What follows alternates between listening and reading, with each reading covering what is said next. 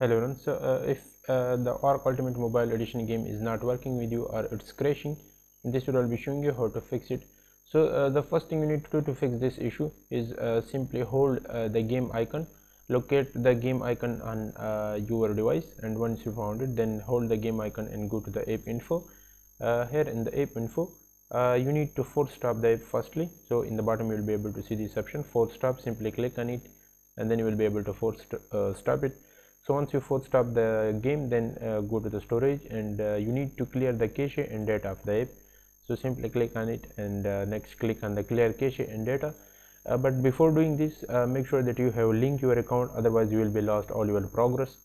Uh, so before doing this clear cache and data steps make sure that you link your account and then after that go to the permission and make sure that you have allowed all the permission to the app uh, so if uh, there is any permission that restricted to the app then it will also crashing.